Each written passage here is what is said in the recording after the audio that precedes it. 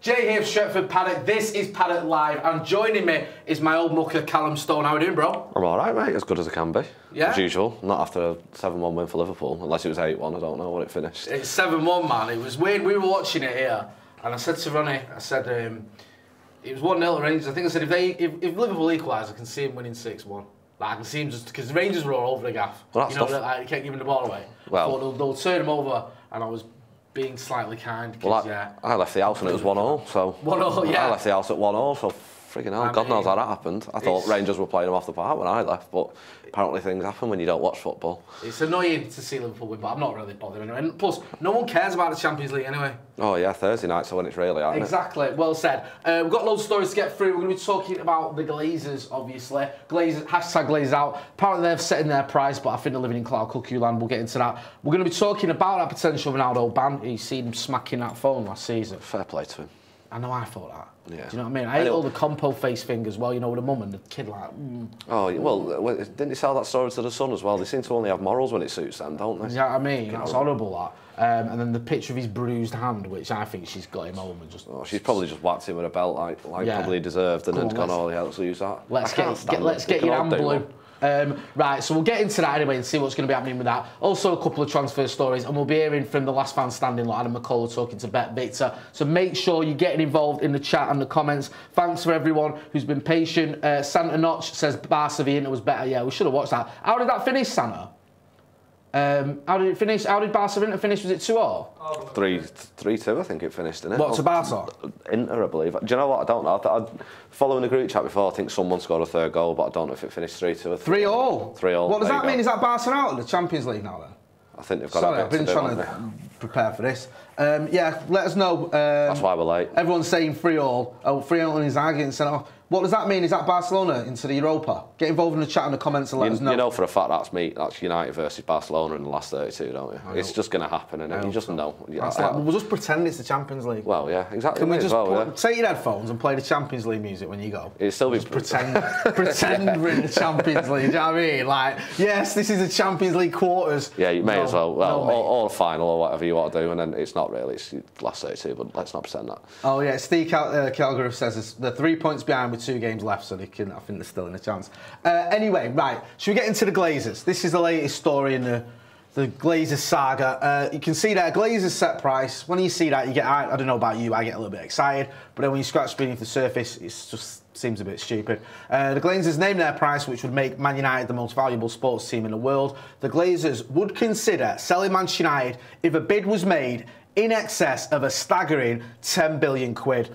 The revelation comes after Britain's richest man, Jim Ratcliffe, revealed he held talks with his brothers. Oh, sorry, with brothers, Joel and Avram Glazer about buying United, but was told the family didn't want to sell. Yeah, I watched that yesterday. Jim uh, Ratcliffe speaking to Jonathan Guthrie at the Financial Times did like a live Q and A. I was waiting for the United question. It did come up. He said that the United is not for sale. He called Joel and Avram uh, nice people, but I think he was being kind to them to say the least, because they're not nice people, they're dickheads. Um, and he said Put it that, bluntly, why don't? Yeah, you know what I mean.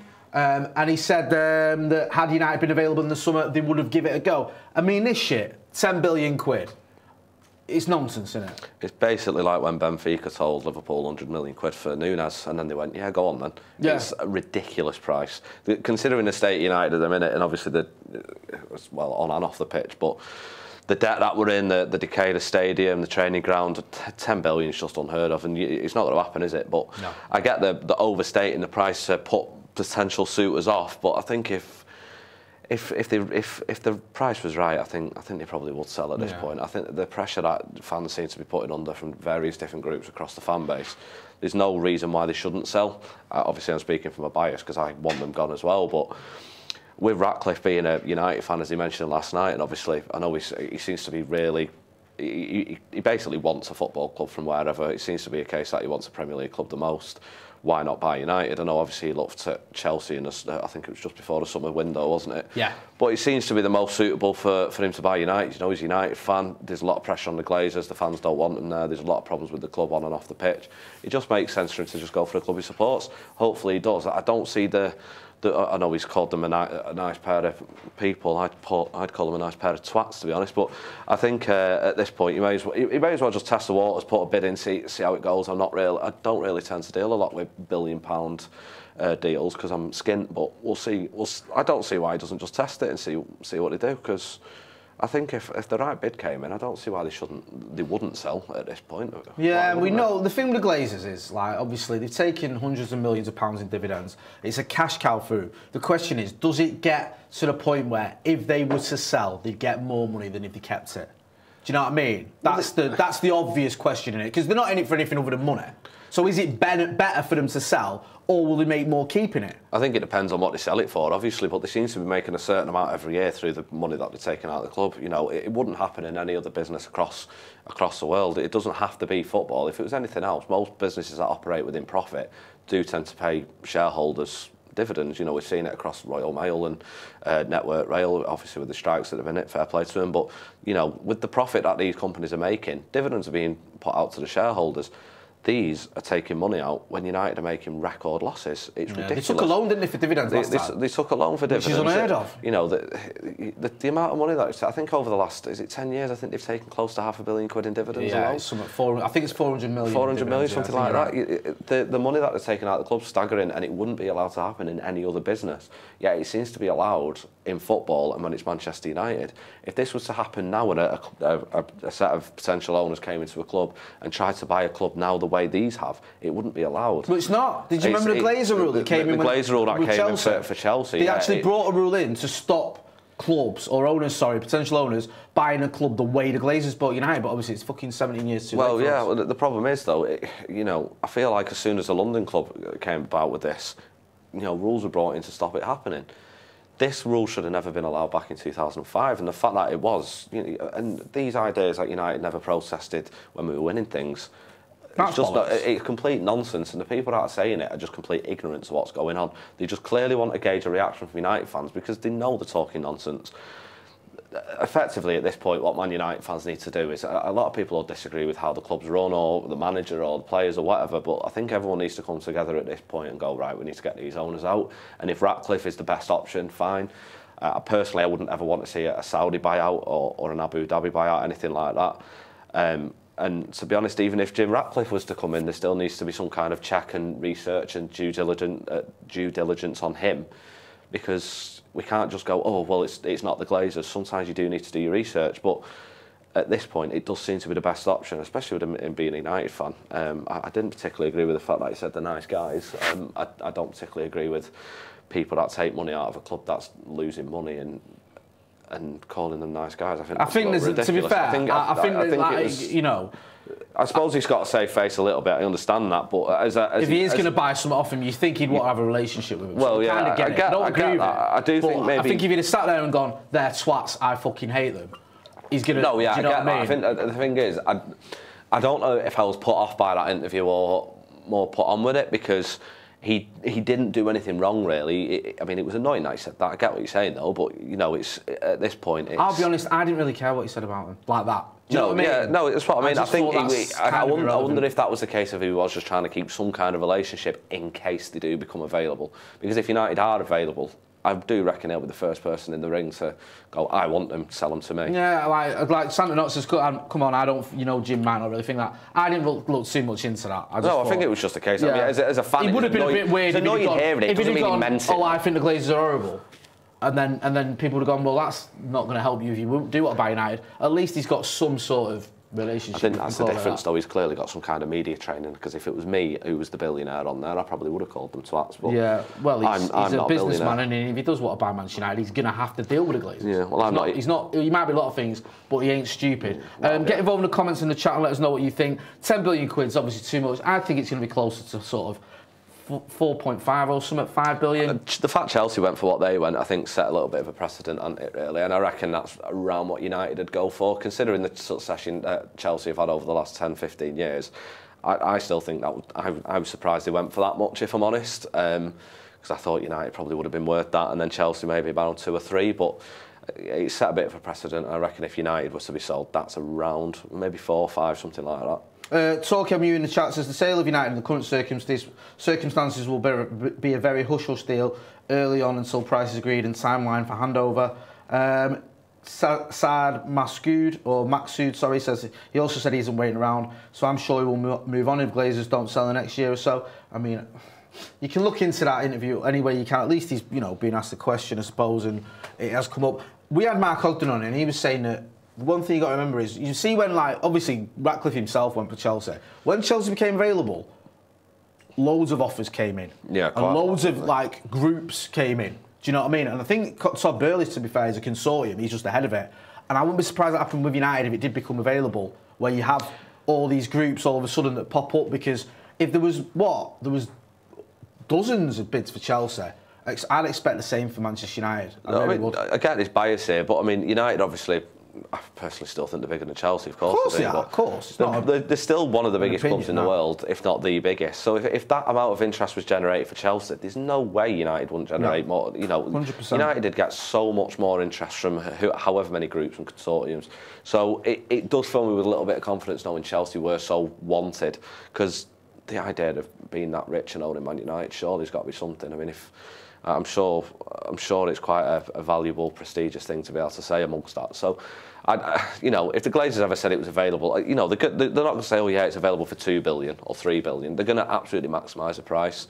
And the fact that this story's come out the day after this, I mean, I take it with a pinch of salt with the Daily Star, obviously, but it's a start at least.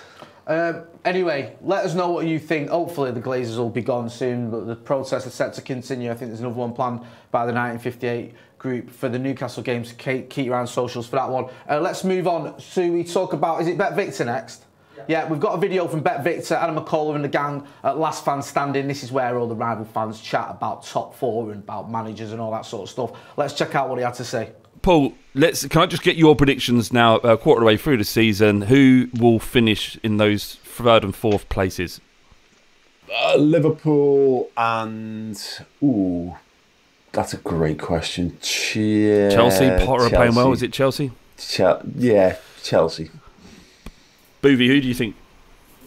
Uh, Arsenal and Chelsea for me. Well, who will be the top two then? Uh, Man City and Liverpool. Right, brilliant. Spurs not even in. Okay, and uh, uh, Lee. Oh. Lee, if Arsenal, Man City are one and two, who's three and four? Uh, I, I, think Liverpool still. I, I, still think that they're getting it. I, I think that they'll get there. And I, hate to say it. Hate to say it. I think that uh, Tottenham will just sneak in at full flight now. I'm not too. I'm, I'm watching Chelsea, and I'm. I'm I don't know about. I'm not criticising them all, but I don't know. I just think that something's not quite right. Man United. I don't think you can write out Man United. Write off Man United by the way with the players they got, but they look a bit bitty.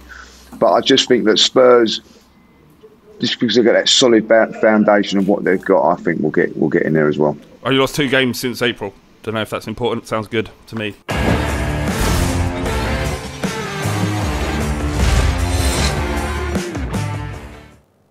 So that was the guys on BetVictor and Last Fan Standing talking about the top four. Make sure you go and visit them at Last Fan Standing and let them know whether you think Manchester United are going to finish in the top four. Say Stretford Paddock sent you. Uh, it's a bit of a hot topic. This is also being discussed on the overlap. There's a video on our channel as well on the overlap about uh, from the overlap, sorry, uh, with Maka and a few other fans as well. And we saw the rival fans, Boovy and the gang there, talking about Manchester United's chances. Well, not really about Manchester United. They're saying everyone really but Manchester United in the top four. Uh, so make sure you check out that with Last Fan Standing. What do you think about top four? Do you think United will do this season? Yeah, I think I, think if we if we keep up this little bit of form that we've managed to find under Ten Hag, if we I mean obviously the City game last week was a bit of a bit of a disappointment. City were just out of this world, really, weren't they? So I don't really count that. I think we found a little bit of form beforehand. Obviously, then the, the Queen died, and um, we had a bit of a break. Uh, I think United will get top four. I, don't know. It's really hard to call though at the minute. I think City have got first, obviously. I still, I still just have this feeling that Arsenal might drop off. I think that's just maybe maybe that's just the way they've been the past few years. I mean, they've been very good, but just have this feeling they'll drop off. I don't. I think Liverpool are in a lot of trouble this season. Um, I, I think the transfer window they had this this year was really poor.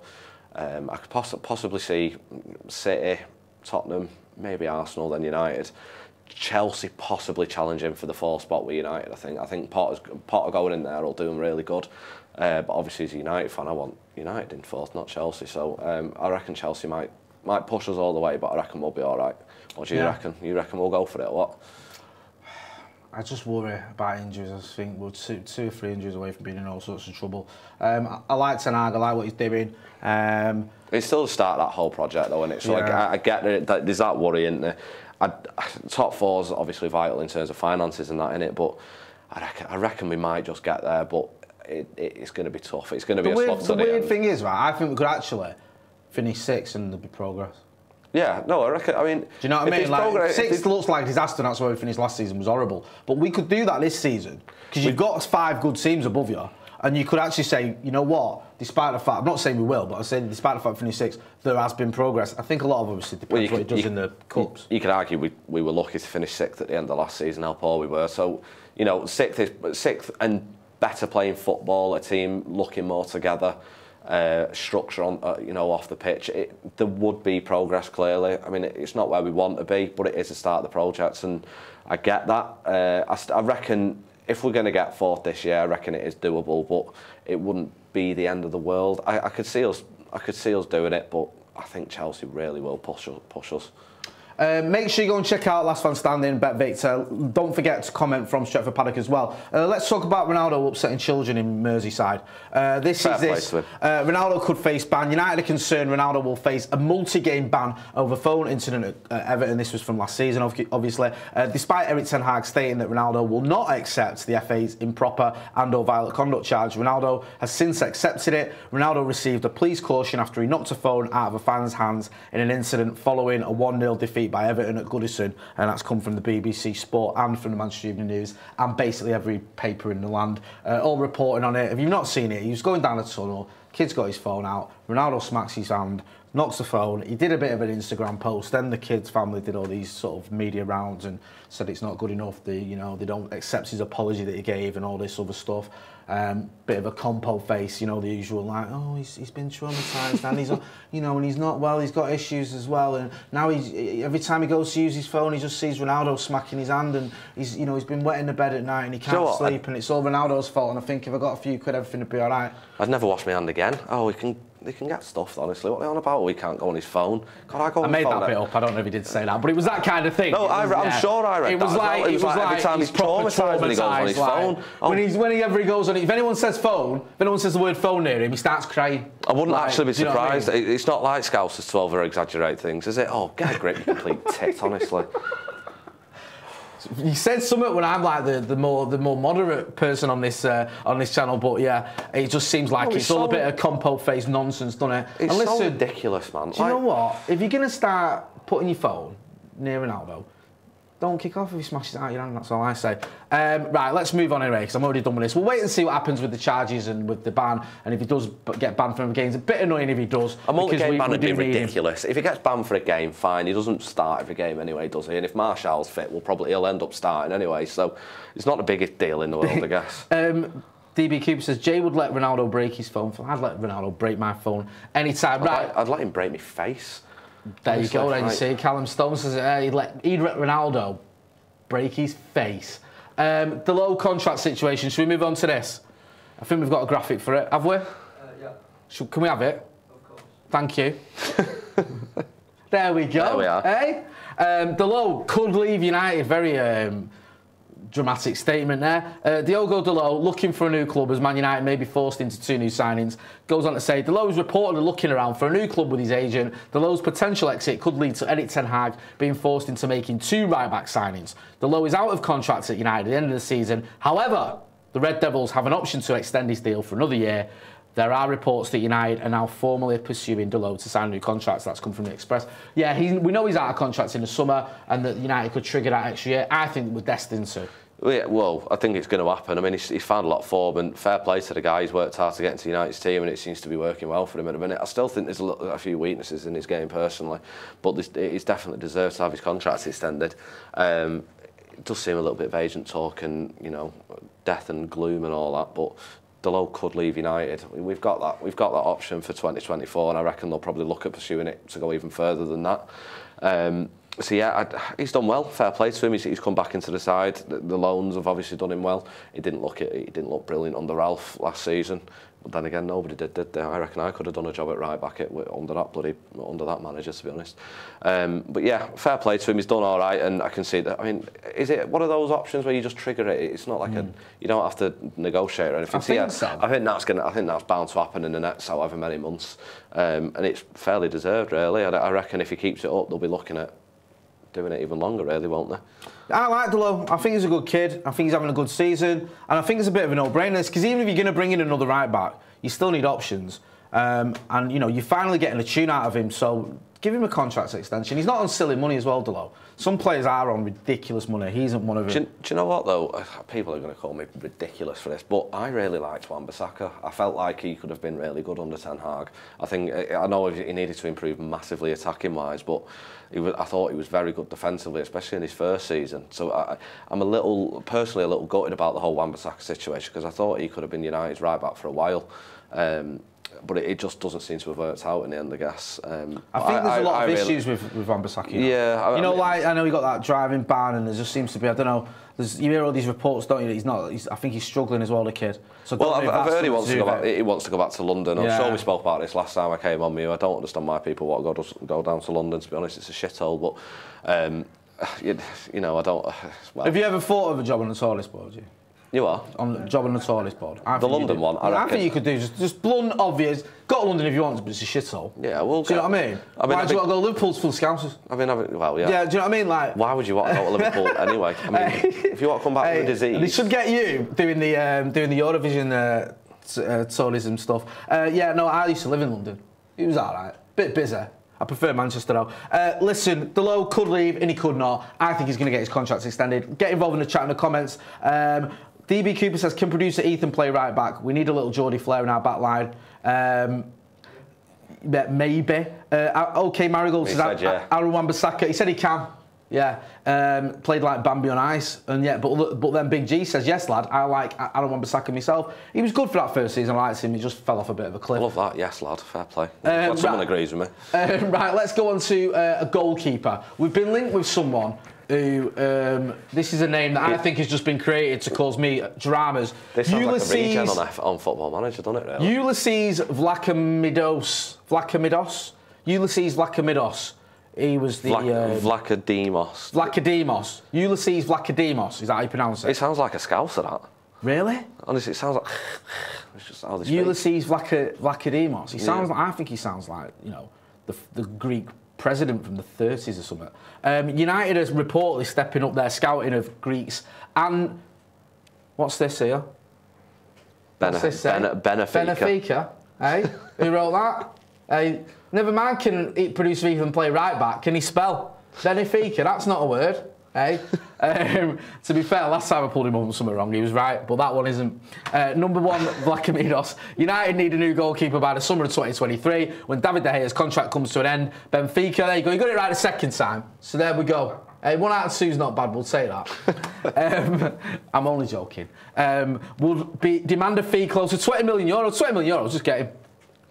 May as well. To be Do you know fair. what I mean? I mean, Who gives a shit? 20 million euros. hopefully we'll learn Fuck how to say his name. We'll learn how to say his name by them as well. Vlachimidos. Vlacho, Vlachodimos. Has De Gea not got a year-long trigger option and all that stuff? Yeah, like, but he's constantly weird he's him, it? constantly mentioning. I think United have wants to want to do it. Yeah, well, yeah, true. But the thing is, isn't he on massive wages as well? So, yeah, He's I- on, like, he's on like, money, uh, yeah. He's like the most expensive goalkeeping wages ever. I won't get out of bed for what he's on. Me. You wouldn't? Yeah, I won't get out of bed. I said double that at least for my for my. Honestly, the earnings that I get to come on here, massive, mate.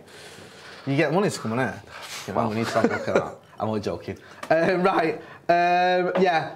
Well, someone here, Big Big G says, "Nah, shouldn't go for this lad. Need to go for Lafont." Um, Jack Campbell, do you know what? Jack Campbell says Odysseus Shakademus. I was thinking that when I said it. I'm glad someone else picked up that. I thought that was just me and my 90s references. Uh, right, should we talk about Milinkovic Savic? Because, right, I have a theory. Yeah? Yeah, go on. Why do you say it like it's going to be stupid?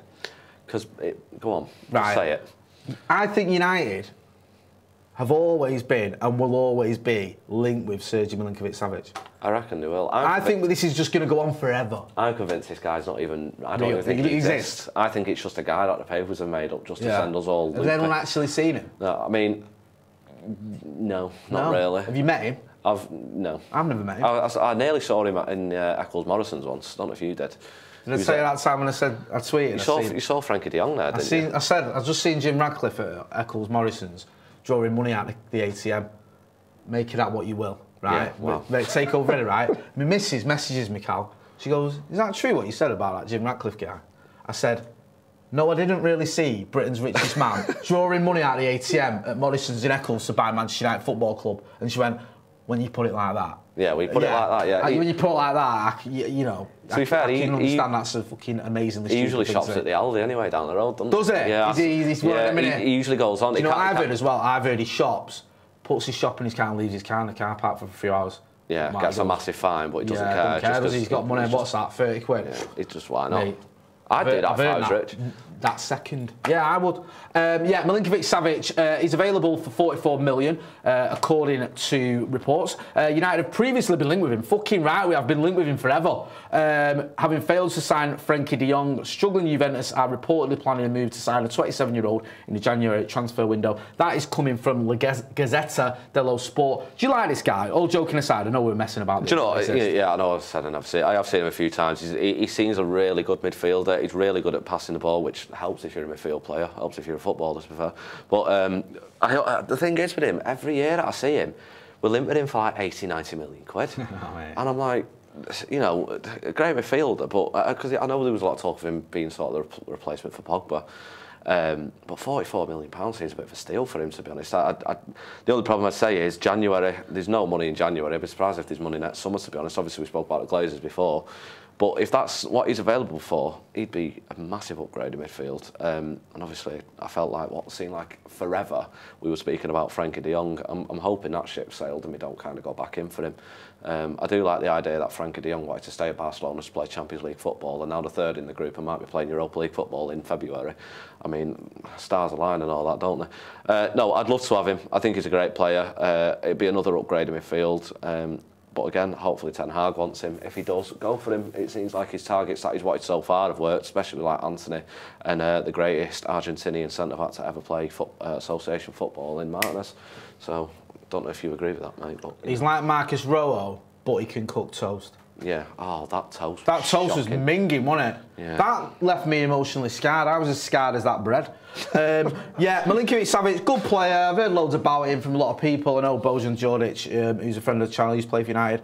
Uh, he was absolutely raving about him. I feel like we've missed the boat with this one. I think it was not missed the boat, but I think it was going to happen. It would have happened in 2018. It- it would have happened when by he now, was I think, a yeah. youngster. Now he's 27. Juve sniffing round him, I don't know. I don't think it's happened. Uh, someone's asked BG, how old is he? He's 27. Um, a few people in the chat. Uh, Matthew Sargent says, he'll go to Juve and I proper won't care. Josh Brown says, he is good. Um, right, let's, let's get to this story, right? This is just typical fucking United nonsense. Um, right. It's not like United. I know fan attendance attendance glitch. Um, right, so this is um, is that spelt right or what? Glitch. Attendance. Attendance isn't though.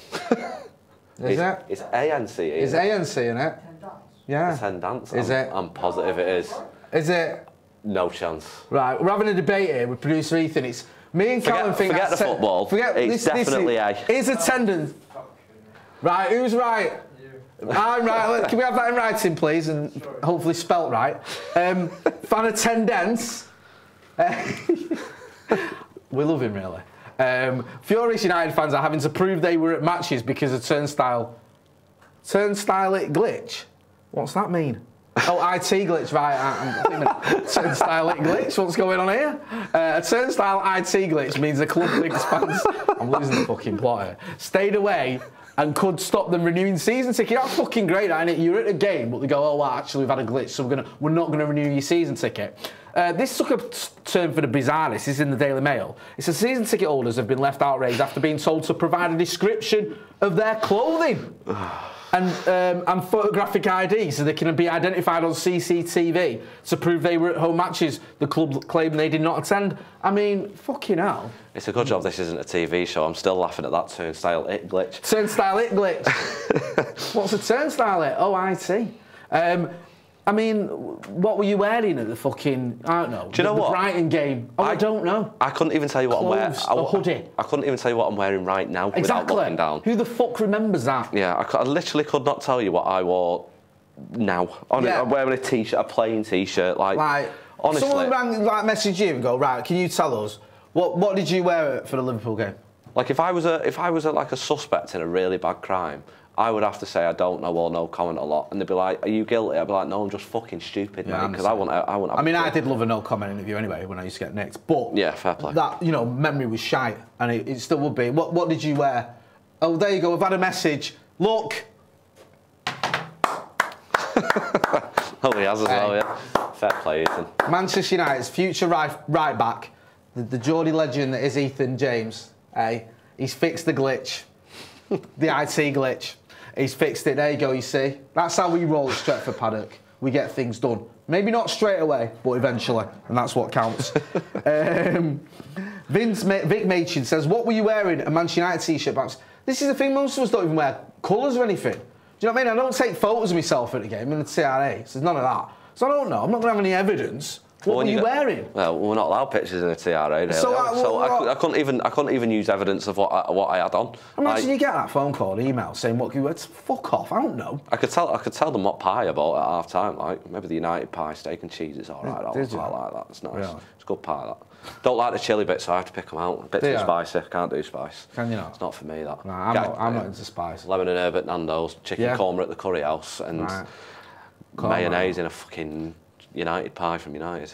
I Fair can't, I play can't deal with it, mate. No, not not. I could tell, fan. yeah, I could tell them what pie and what, what beer I bought, but other than that, pff, no chance. I wore jeans, mate. I couldn't tell you. That's. This is just fucking nonsense. It's typical United. Honestly, this whole idea of United, they treat the fans like shit, really, don't they? Our club, you know, the stadium's always full. There's so many people, you know, without naming names, I'm sure, but there's so many people that go to the games and they help other people go to games, whether it be for free or you know, the tickets are paid for. If I buy a season ticket, it's absolutely up to me what I do with it. If I want to buy a season ticket for 19 league games and give it away to someone for free every single week, it should be my prerogative to do that. Like Yeah. if if I go to Primark and I buy a T-shirt from there, they're not going to tell me if I'm wearing it or if I'm giving it to someone else to No. wear. So why do United feel like it's our ticket that we pay money for? So why do they feel like it matters to them? Why should it matter to them where the ticket goes and who goes to the game? It's fucking pathetic. It's genuinely pathetic. So the fact that they're still doing it, and I hate that, and people are get, I keep seeing it on Twitter and Facebook and everything. People are being banned from games. People are being cautioned. People are being whatever. It, it's it's a disgrace really how they're treating the fans at the minute, especially with everything going on at, at the club, with you know off the pitch and how poor we've been for so long, and you know the, the, the things with the owners and, and everything like that. The fact that fans are still being treated the way they are, it's same with the, going against it as well. With obviously with the Met Police cutting the allocation at Chelsea, like fans are just treated like dirt. But speaking as a Man United fan, United fans are treated like utter shit by their own club just because they want to help other people go to the games because it's not the name on the ticket. It doesn't matter. It's ridiculous. And the fact that they're still doing it now, after all these years, just shows that they still could not give a shit about the fans and that they're so out of touch with the fan base, just like they are on Twitter every week. It's I don't know how you feel about it, mate, but I'm I'm a bit on the fence about it, to be honest. Yeah, I wish you'd share your opinion, to be honest with you. Now, do you know what it is like? I don't like season ticket holders at United, the club. Because Well, oh, yeah, that- that you, is, don't, you don't spend money in the club. You don't, you know, you know what I mean, sit down and polite, politely clap. A lot of you slag off the Glazers, don't spend the sort of money that that seat is worth more to them on day tripping United fans. There's nothing wrong with that. Like, if that's your sort of thing you're into, I'm not No. having a dig at. I'm not having a dig at those those those fans. What I'm saying is, you know, we spoke to Kieran Maguire and people, like, and he's saying, listen, the club don't treat season ticket holders that well because you're getting your ticket cheaper than it would if it was sold individually. You're not spending money in a club shop. You're not most of the time you're not spending as much money on the concourse as other fans would. So they'd rather you weren't there. And I think sometimes that's why they treat you so badly in this whole fucking nonsense. If they've got an IT glitch, they can fucking sort it out and find Glitch. out your Nick Glitch and find out what we're doing. Uh, hit that like button and make sure you are subscribing to the channel as well. Uh, big thanks to Callum Stone. Where can people find you, Mr. Stone? You can find me at underscore Callum Stone on Twitter, usually moaning about the Tories or Man United. So I'm not moaning that much about United, don't I, actually. Um, or I'm on for United sometimes if you want to check out their YouTube channel, or when I start writing again. I said actually last time I was on air I was going to start writing. You know how many articles I've wrote since? Zero. The same number of Premier League titles Steven Gerrard's won. Yeah, the same number of Champions League trophies Arsenal and City have combined. Exactly. So See? I've not wrote anything, but if you want to check it out, you can But do. it's all not up here. great though. so- Generating ideas. Yeah, exactly. It's the process writing. I wish, don't I wish I wish I could say that, but well, yeah, I am. Yeah. I've got loads of ideas. I just can't be asked writing them down, if I'm honest. So if you want to check that out, feel free. But usually most of the stuff I do is on Twitter, unless you want to find me on Facebook and harass me on that. But please don't do that. Yeah, I've never, I think that's a. I think that's a first. That someone's saying find me on Facebook on it. No, don't find me on yeah. Facebook. Well, I'm not. Please don't find me on Facebook. Do you know what I hate when I go on Facebook? I fucking hate this. Now I'm gonna go on Facebook, right? Because I get tagged in stuff. Mrs. will tag me pictures of the kids, right? And then you go on there, and there's all these list of fucking birthdays in there Yeah. of people. So then you've got to write happy birthday and copy and paste it for everyone. And I just think, wow, it's fucking noise. I don't do that, mate. Uh, uh, it depends who it is. If it's like my cousin or something, like I'd nearly forgot to say happy birthday to my cousin the other day, so sorry, Lauren, if you're watching. But um, yeah, the, the thing that's doing my head in on Facebook, and for all everyone, all the fans of everywhere across England and all around the world, you're not going to get this. But Urmston M41ers drives me mental. Oh, no. It's They're the, it's, the greatest page in the world, but some of the people on there are lunatics. Like I don't know if you ever noticed, but the Mile Road's open and there's no fucking shoe shop in Urmston. So, but I love all. You know what? I actually do love some of those pages though, because Yeah, it all well- pops off. We've got one for our estate in Eccles, and like it all kicks off. I remember when we used to live in Irlam, there was like people posting on the Irlam neighbourhood watch thing, whatever it was. And it'd be like, oh, there's a load of lads near the train station giving shit to people. They look like right chavs. Be careful. And then you'd have someone pipe up and go, they're not fucking chavs. They're my son and his mates, you cheeky bitch.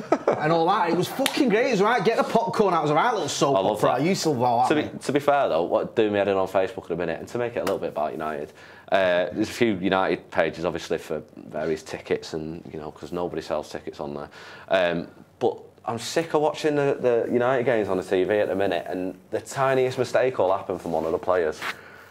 Get him out, get him out of our club now. See, I told you that's why he's not good enough. Fucking hell, Jesus, he didn't even do anything wrong there. Chill out, will you? And then five minutes later he scores and then they delete the post. Fucking own it, you're a moron. Own it. Own it, you're a complete idiot.